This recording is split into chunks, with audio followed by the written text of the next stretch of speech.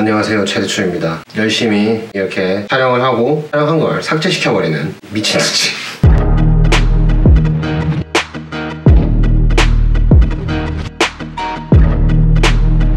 이렇게 이렇게 하겠습니다. 일단 이거는 그냥 제가 정화해서 꺼내놓은 거고 어, 여기 있는 게 다이소에서 산 다이소에서만 샀습니다. 요거 요렇게. 그 다음에 요런 걸 가지고 라면 할 거고 젓가락 빠르게 소개할게요. 젓가락 그 다음에 이거 국자는 그냥 제가 폼으로 가져온 거라고 아까는 했지만 뭐 처음 폼으로 가져온 거고요. 그 다음에 이거는 타공 채반. 이거 두꺼운 구멍 크게 뚫리는 타공 반이랑 채반이랑 이제 스테인리스 이거 얇게 뚫리는 채반. 그 다음에 mixing bowl. 아니라 그 다음에 계량에 꼭 필요한 계량 컵이랑 어, 저울.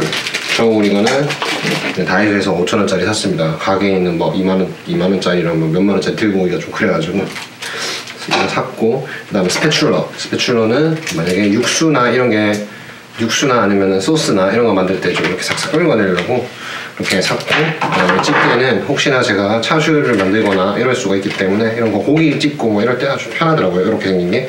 그래서 이걸 쓰고 그다음에 타이머. 타이머 굉장히 중요하죠.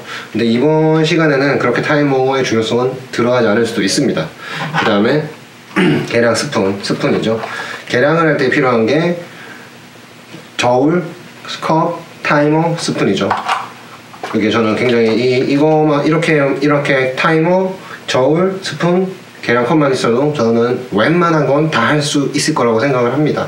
정말 엄청 막 특별한 기술 들어가고 막 이런 건 아니면 어, 뭐 저도 못하지만 기름 나서 설명을 드리는 게 이제 기름 같은 경우는 제가 당연히 이번 시즌에 향유를 많이 다룰 거라 가지고 향유 종류를 좀 다루고 싶어 가지고 이거 일단 기본 기본 기름을 하나 샀고 그다음에는 이제 동물성 기름 돼지 소 뭐 오리 닭 뭐 등등등 해서 동물성 기름 플러스 식용유나 올리브 오일로 만드는 어 고, 그 식물성 기름들 뭐 예를 들면 고추기름, 파기름, 양파기름, 뭐 트러플 오일 뭐 등등등등 많겠죠. 그 그런 것들 하고 이제 설탕은 이게 설탕은 이거는 황설탕입니다. 황설탕. 황설탕 준비했는데 황설탕인 이유는 그냥 제가 황설탕을 좋아해서 백설탕을 쓰셔도 무관하고 엄청난 큰 차이를 준다. 이렇게 생각할 수는 없고 그 다음에 사랑. 사랑을 하나 준비해봤고 그 다음에 이거는 일본의 사랑. 이거는 일본의 사랑을 하나 또 준비를 했고 그 다음에 이거는 소금에 사랑을 더한 사랑 플러스 소금을 요거 일단 준비를 했고 이거는 사랑 가미되지 않은 강소금. 이거는 이건 원산지가 아마 전라도 저기 어디지 어디였더라? 하여튼 거기였습니다. 이거 기억이 잘 안 나요 그 꽃소금 어, 정제가 좀 덜 돼 있는 애. 이렇게 준비를 했고 도마랑 칼.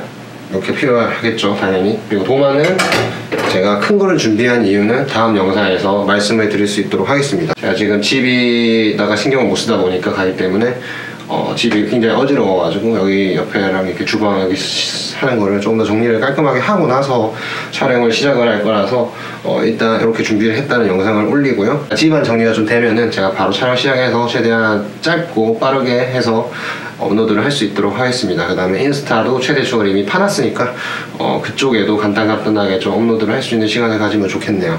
타레 같은 경우는 전에는 공산품을 썼지만 어, 이번에는 타레 같은 경우를 좀 더 심플하게 가, 고 향미유가 좀더 돋보일 수 있는 그런 능력, 그런 느낌을 어, 해서 저도 데이터를 쌓고 싶은 게 많아가지고 그런 느낌으로 할 거라서 타레는 크게 막 신경을 쓰거나 그러진 않을 것 같습니다. 물론 이제 굉장히 basic한 느낌에서 어, 최대한 뽑아볼 생각이고 뭐 미소를 할 수도 있고 쇼유를 할 수도 있고 어, 시오를 할 수도 있고 아니면 그 외의 것도 뭐 있나 보고 있다면 제가 재밌는 걸 발견하면은 또 그런 걸 가져올 수도 있습니다. 어, 그러면은 일단 여기까지 최대 충이었고요. 다음 영상에서 또 뵙도록 하겠습니다 감사합니다